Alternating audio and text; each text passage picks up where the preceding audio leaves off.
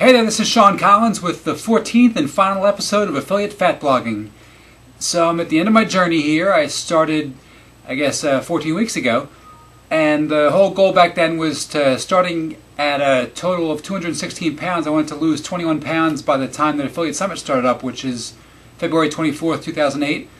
And right now I've got um, I'm a number of days, I guess uh, four or five days before I actually even leave for Affiliate Summit, and I've hit the goal of 195, so I've lost uh, 21 pounds using Weight Watchers core program. So very excited about that.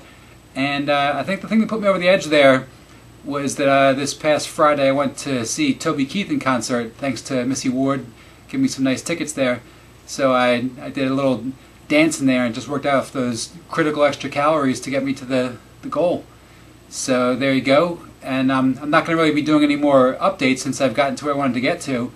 But uh, I guess maybe I'll reappear once in a while just with some updates. I from now on I just want to sort of um, stay pat where I am. Maybe trim off a couple more pounds, but it won't be the um, at the same accelerated pace.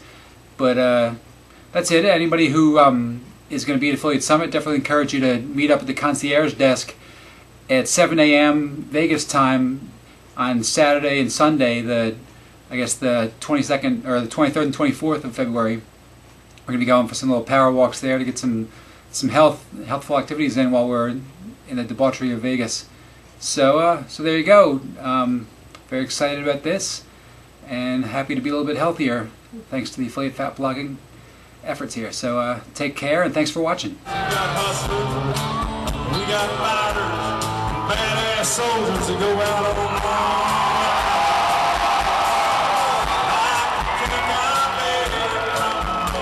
job.